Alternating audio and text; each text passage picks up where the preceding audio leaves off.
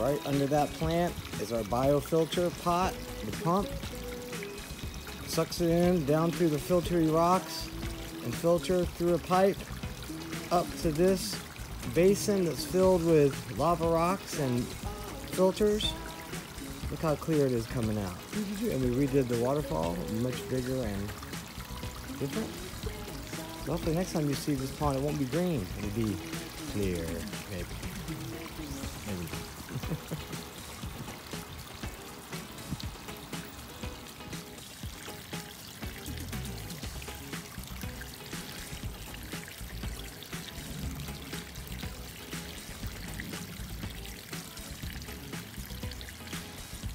Nice and clear.